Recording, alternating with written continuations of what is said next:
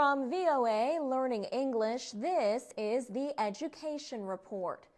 Security risks are said to be widespread in the southern Afghan province of Kandahar. Yet, the number of women working in Kandahar has risen during the past year. The provincial government employs more than 1,150 women most of them as teachers.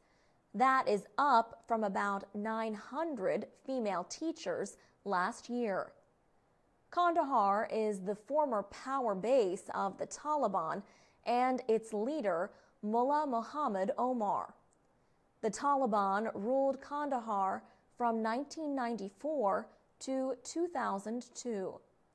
During that period, women were banned from working outside the home. Most girls could not attend school. This year, 500 girls will complete high school. Mohammed Awaz Nazari is an education official in the province. He said Kandahar has about 47,000 female students, and the numbers are rising. He described an increasing demand for jobs among both educated and uneducated women. In addition to government jobs, women are working for private businesses. Mariam Durrani operates a local radio station. She says women in Kandahar need more job opportunities. But she adds they must strengthen the gains they have already made. A non governmental group, the Afghan School Project, has given women scholarships that can lead to careers. The recipients attend programs at the Kandahar Institute of Modern Studies. The Institute offers training in business management information technology, English, and communications. Some Afghans have expressed concern that the Taliban could regain power after international forces leave Afghanistan. And they say the progress of women's rights could be lost if that happens. For VOA Learning English, I'm Alex Villarreal.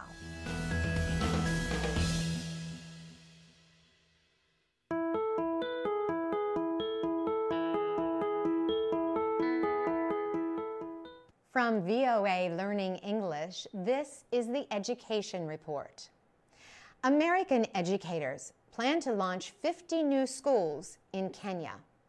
The new schools of Bridge International Academies are set to open in January at the beginning of Kenya's school year. The goal of the private group is to educate children of families who make $2 a day or less. They opened their first school in Kenya in 2009. Since then, the number of schools has increased to 200. Bridge officials Shannon May, Jay Kimmelman, and Phil Frei say they want to educate 10 million children around the world. On the Bridge International Academy's website, the three friends say their effort began with a question. They asked why there were no plans to educate all the world's poorest children.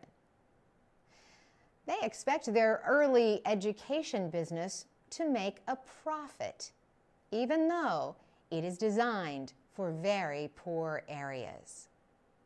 Their low cost plan uses new technology to help teachers and to follow student progress. It also tracks operations in each school. They call this new system Academy in a Box. Every bridge teacher uses a Nook e-reader. The electronic reader provides teachers with daily lessons. The school provides students with books that match the electronic lessons. The lessons have been developed by trained educators for all Bridge International Academy's classes. The lessons are designed to meet the requirements of Kenya's National Education Plan. Bridge's large class sizes and teaching methods are not usual in the schools of developed countries. They are not considered the best for learning. Yet, supporters say the bridge operation compares well with public education in Kenya. The average cost to attend a bridge school is about $5 a month. For VOA Learning English, I'm Carolyn Presutti.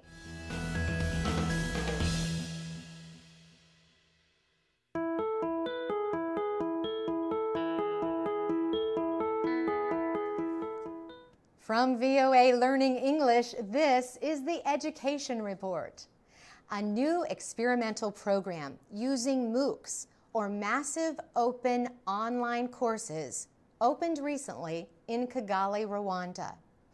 The Kepler Project is designed for people in the developing world. It uses MOOCs provided by foreign universities it combines these online classes with help from local instructors and an internship program.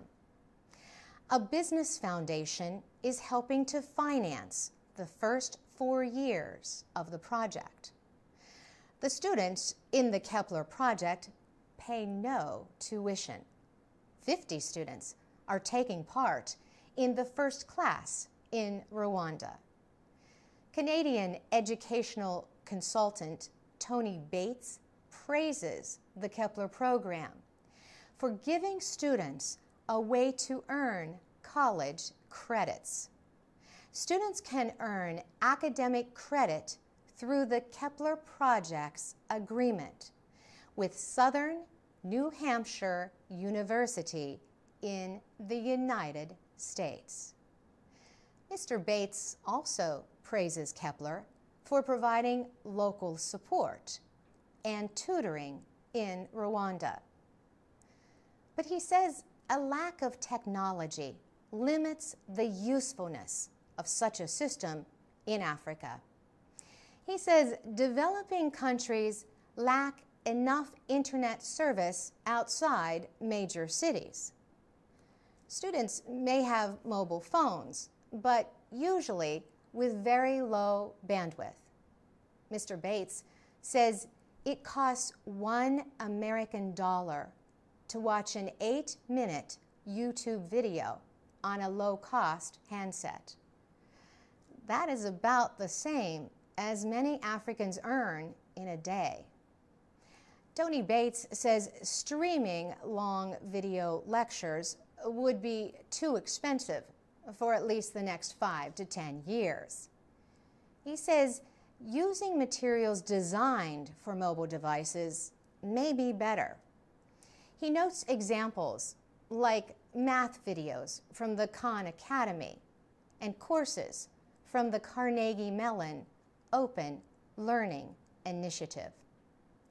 He says these materials are designed for distance learning and are more interactive. For VOA Learning English, I'm Carolyn Presutti.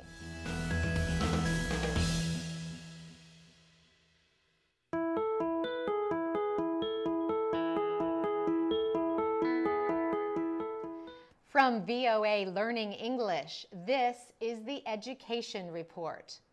Public universities in Nigeria have reopened after a nearly six month long strike by teachers. Repeated strikes can add months, even years, to the time it takes a student to finish a study program.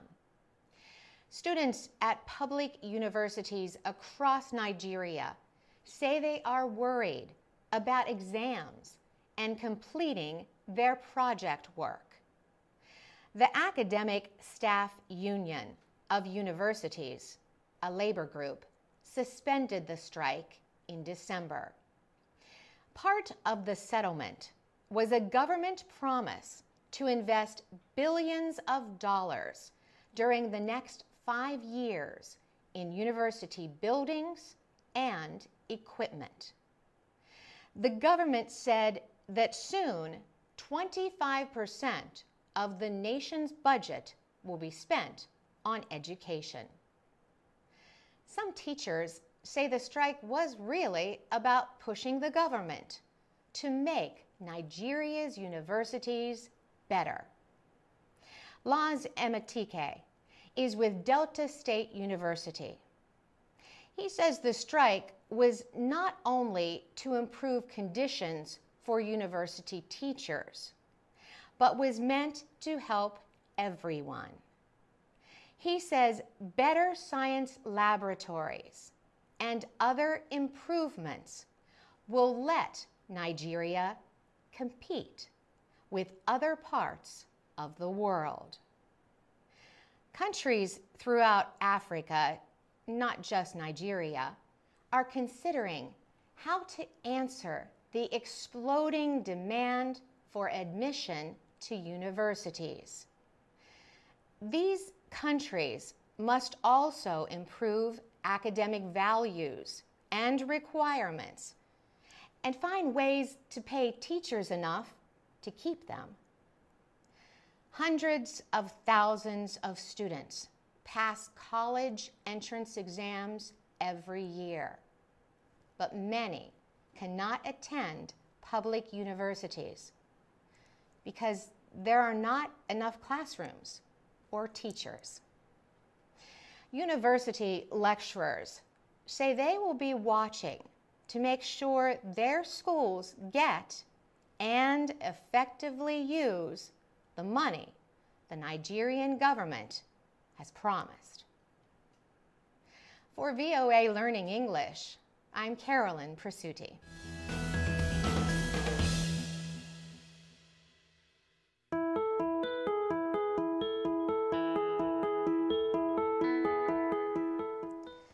From VOA Learning English, this is the Education Report.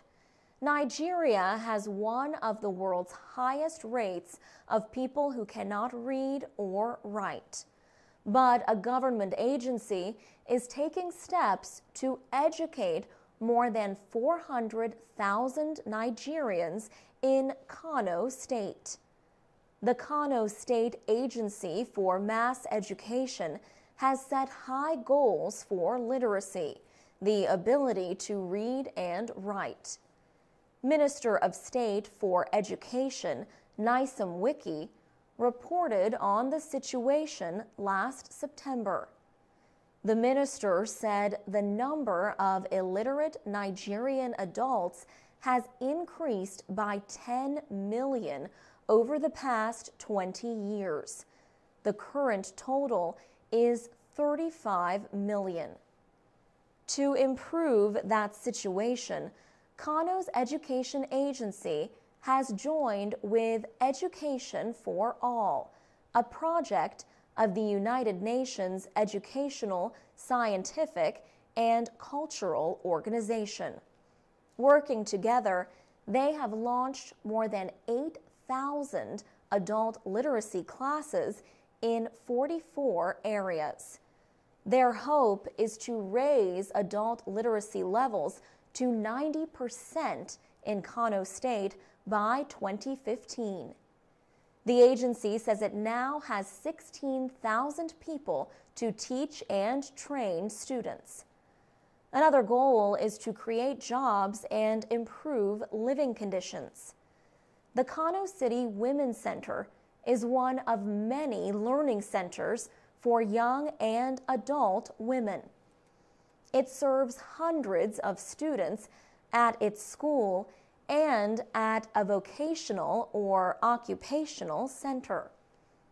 At the center, women learn sewing skills and make products like soaps and air fresheners. 25 year old Halima Aminu is a mother of three children. She started going to the Kano City Women's Center in 2010. Now she is in her final year at the senior secondary level. Halima Aminu hopes to continue her education at the next level and someday become a medical doctor. For VOA Learning English, I'm Alex Villarreal.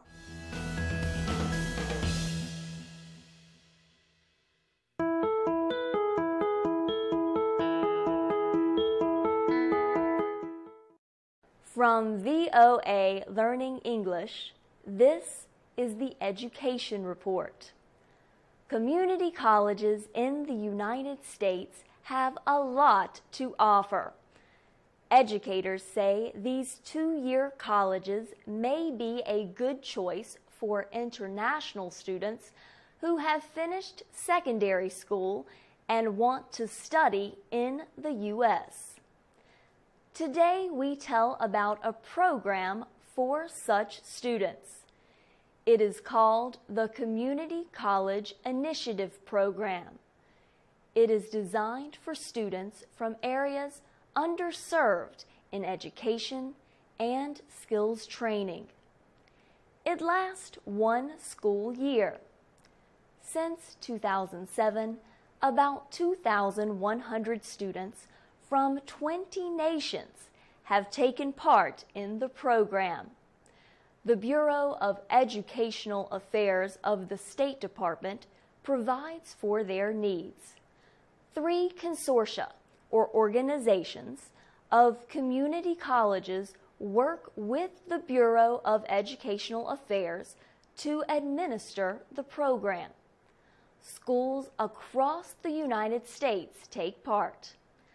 Cider Rahman is project director of the Community College Consortium, led by Northern Virginia Community College.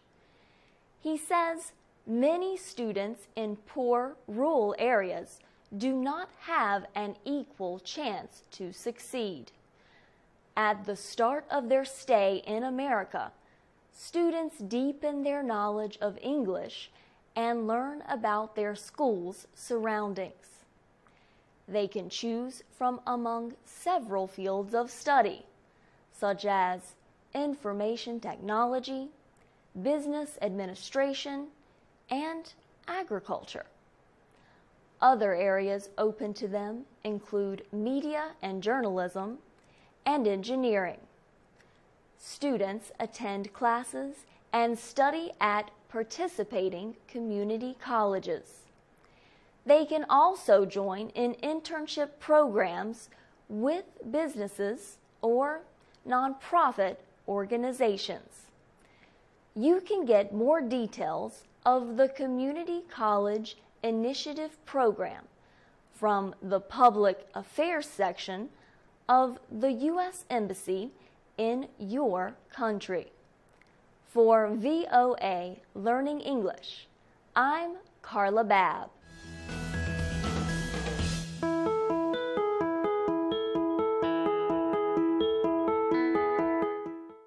From VOA Learning English, this is the Education Report. Growing up can be hard in poor neighborhoods where crime is common. That is the situation Marco Antonio Aguilar faced when he started at Garfield High School in Los Angeles, California. The boy hated school. He says he had the wrong friends, often missed classes, and even got into fights. The school suspended him, barring him from attending classes. He almost was sent to a school for problem students. But Marco Antonio changed his behavior. He says a talk with his mother helped him change. And he praises his teachers for the help they provided. But now, students at Garfield High no longer receive suspensions. The punishment itself has been suspended. Jose Huerta, the Garfield High principal, took the action when he first arrived at Garfield more than four years ago. Back then, more than half the students were leaving school without finishing their studies. At the same time, Garfield was suspending nearly 700 students yearly. But Mr. Huerta had other ideas about how to deal with young people who misbehave. He said most of the suspensions were for behavior known as willful defiance. He said that could include something as minor as chewing gum in class. Under Mr. Huerta's leadership, students involved in willful defiance first talk to a teacher. Then a parent may get involved. Finally, group support can be provided. Today, Garfield graduates 85% of its students. And last year, the Los Angeles Unified School District changed its punishment policy. The whole district banned suspension to punish students for willful defiance. For VOA Learning English, I'm Alex Villarreal.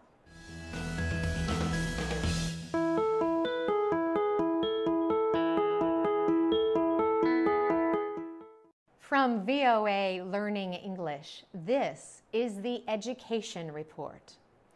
60 years ago, the highest court in the United States changed American education. On May 17, 1954, all nine judges of the Supreme Court ruled against racial separation in public schools. The court said such segregation in schools violates the United States Constitution. At that time, many school systems had separate schools for white students and black students. The segregation was the result of a court ruling from 1896. That decision permitted so called separate but equal schools. Some schools had only white children, others had only black children. Then, about 60 years later, the case Brown versus the Board of Education came before the Supreme Court. It involved five separate legal actions, but it centered on an African American child in Kansas. Linda Brown lived just a short distance from a school, but she was forced to travel across town to a black school because the school near her permitted only white students. Aderson Francois teaches law at Howard University in Washington, D.C. He says the case ended official racial separation in U.S. schools.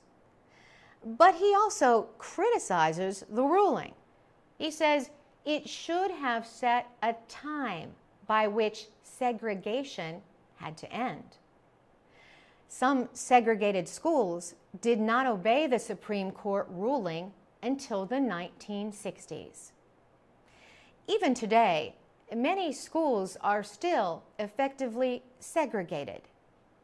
In 2012, the Civil Rights Project at the University of California studied racial populations in schools.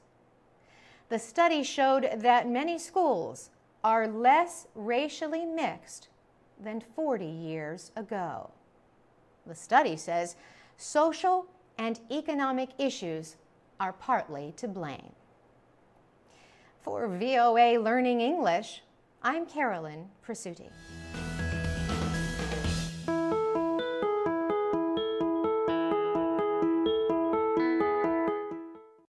From VOA Learning English, this is the Education Report. The reported rape of a six year old student at a well known school in Jakarta has received widespread media attention in Indonesia.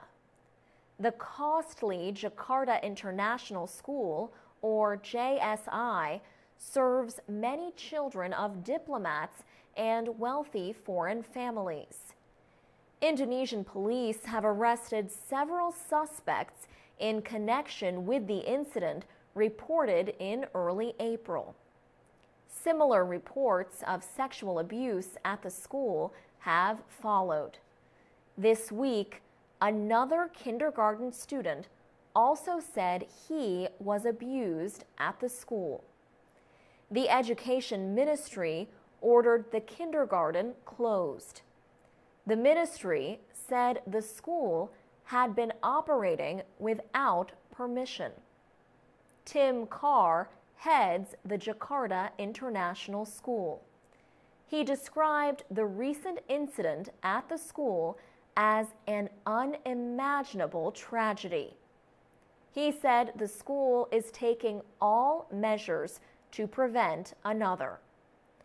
Years ago, American investigators named a former JSI teacher as one of the worst child sex offenders ever identified. American William James Vahey worked at the school from 1992 until 2002. He killed himself last month after U.S. federal investigators seized some of his computer records. The evidence included 90 photographs of boys Vahey reportedly abused. The number of reported rapes is increasing in Indonesia, but the reports do not get a lot of public attention. Last year, the Indonesian Child Protection Commission declared child rape a national emergency but it said it does not have dependable numbers on rape. A large part of Indonesian society considers it offensive to talk about sexual abuse. Victims are often afraid to report such crimes. They fear it will dishonor their families. For VOA Learning English, I'm Alex Villarreal.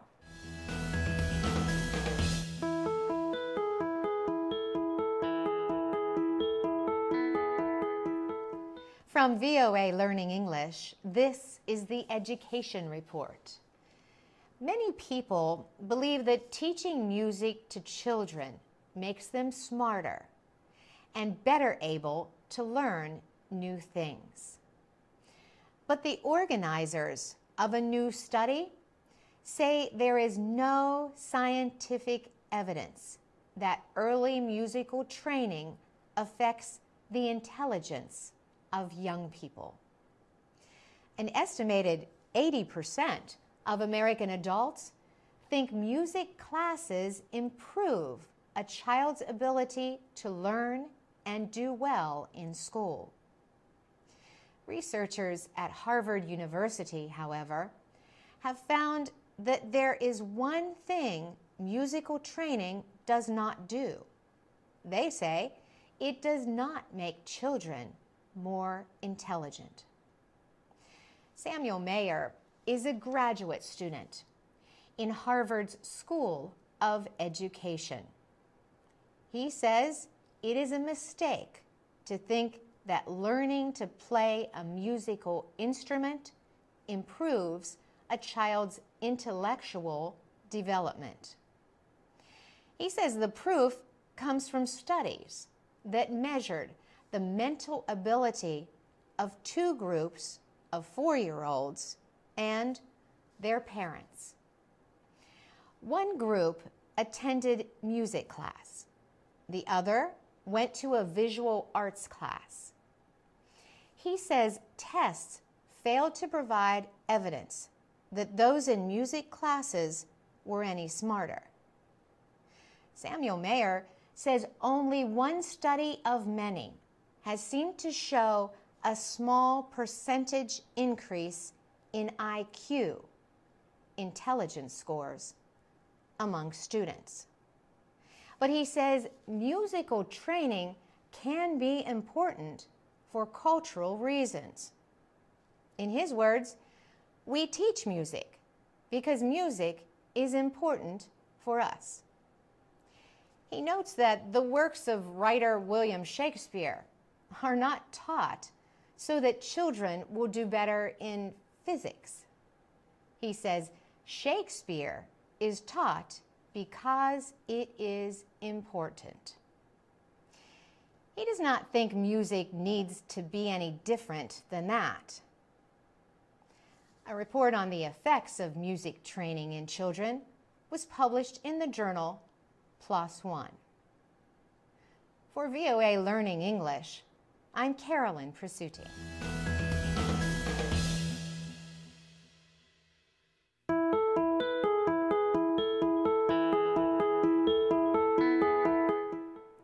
From VOA Learning English, this is the Education Report. Thousands of young people in Senegal attend and live at religious schools called Daras. These schools accept only boys. The students are called Talibe and they study the Quran. Some Daras force students to ask strangers on the street for money and food.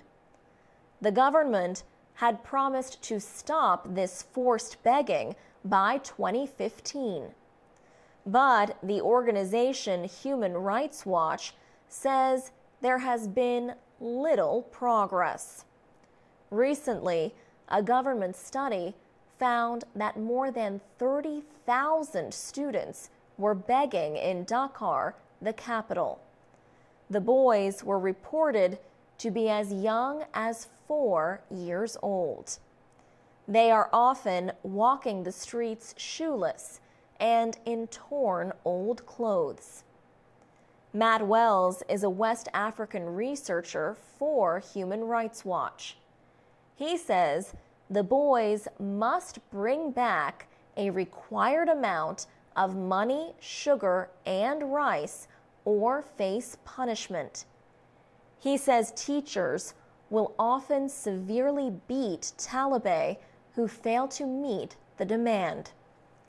He also says the boys usually are hungry, live in dirty, overcrowded rooms, and receive very little real education. In March 2013, eight Talibe died in a fire in Dakar. Neighbors said they knew the children could not escape from the school building in which they were living. After the fire, Senegalese officials promised to take steps against child begging. But Human Rights Watch says the government has closed only one DARA for safety reasons. HRW says there are hundreds more that violate students' rights. Senegal's Ministry of Justice says it knows of the problems and is working on new legislation. But a ministry official notes there is cultural resistance to laws restricting religion. For VOA Learning English, I'm Alex Villarreal.